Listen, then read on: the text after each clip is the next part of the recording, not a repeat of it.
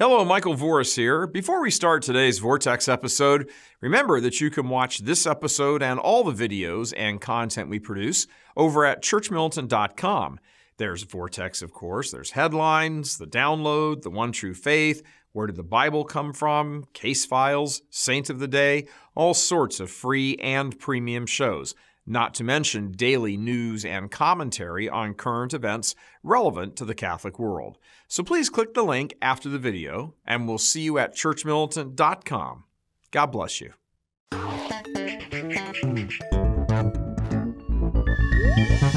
Hello, everyone, and welcome to the Vortex, where lies and falsehoods are trapped and exposed. I'm Michael Voris. Lots of people who attended American high schools might remember the cheer at football games be aggressive. Be, be aggressive. As annoying as it might have been, especially when you were getting blown out, there is a truth there that faithful Catholics need to take to heart.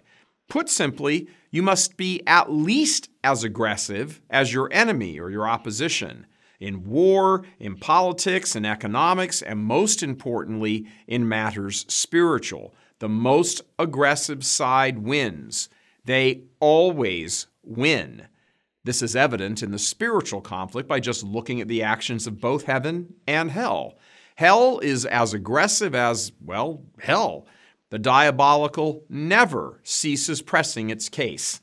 Think, for example, how many times a day you are tempted to a lack of charity, or lust, or pride, or greed, or anger. The volleys never stop coming straight at you. That's called aggression. But heaven is even more aggressive than hell.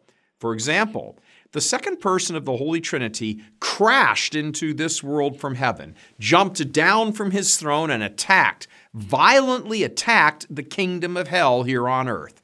It was a giant rescue mission to open a path for the prisoners to escape, and they need to do so post haste. Get out of the clutches of this aggressive enemy while there is still time. Fight war, aggression. These are the hallmarks of the spiritual life, a well lived and understood spiritual life. But the single biggest hallmark is that simple little word, aggression. Now, if heaven and hell battle so aggressively, so must we. It is, after all, why we Catholics on earth are called the church militant.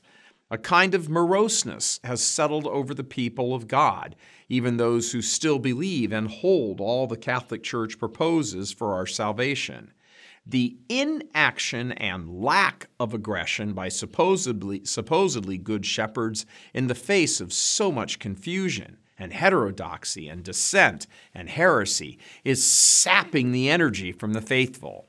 They feel alone, if not outright abandoned, by shepherds who sit quietly by, working on their private little plans to rescue the church. Meanwhile, their families and friends apostatize left and right, bringing further sadness. These bishops have a duty, they have an obligation before Almighty God to step forward and loudly denounce the evils in the church right now. Loudly, publicly, now. And right now means right now, not after consulting and conference over months of analysis and hand wringing. Every day, the likes of Father Martin and many just like him pour out heretical or deceptive messages about the faith to millions through social media. See, they're constantly aggressive. They equate illegal immigration problems with the murdering of children, and not to elevate the immorality of illegal immigration, but to lower the moral importance of abortion. Others write books, they give lectures, they pen articles, which likewise get shared with millions through social media. And yet, the good bishops do or say nothing or next to nothing. They have ceded control of the argument, the framing of the debate to the more aggressive lefties in the church, who aren't actually really in the church, whose goal has been and remains to be obscure the church's teachings on the very thing that sends you to hell and conflate them with social justice concerns, which are not intrinsically evil and do not automatically send you to hell.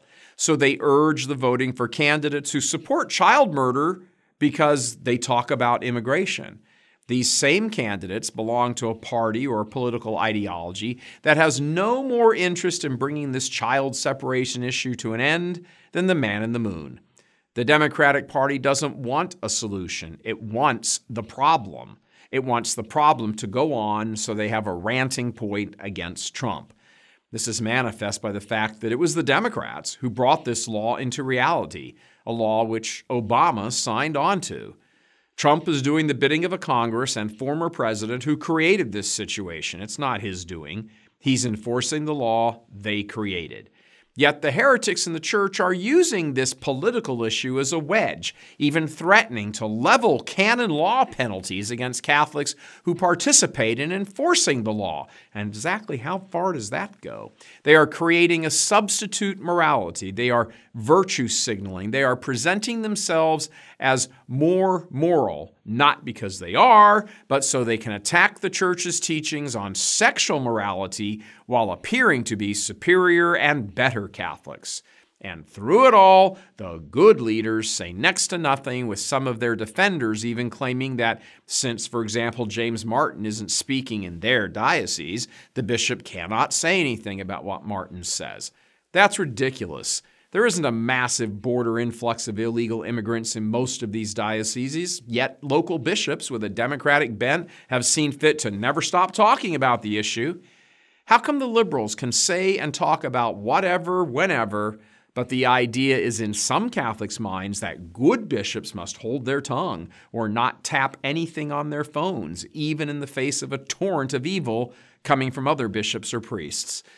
The aggressive side always wins, and faithful Catholics, and especially Orthodox Catholic leaders, had better get their fires burning more intensely. Our blessed Lord was aggressive. It was his divine aggression that defeated the prideful aggression of the demon. Follow suit or die and be damned. God love you. I'm Michael Voris. Thanks for watching this episode of The Vortex. Please subscribe to our YouTube channel and head over to churchmilitant.com to watch The Vortex headlines, download, Saint of the Day, and countless premium videos on church history, teaching, and apologetics. We have hundreds of hours of videos as well as articles and stories you won't find at any other Catholic outfit. And don't forget, we're also on Facebook, Twitter, and Instagram. So be sure to follow us there as well. Thanks for watching, and we'll see you over at churchmilitant.com. God love you.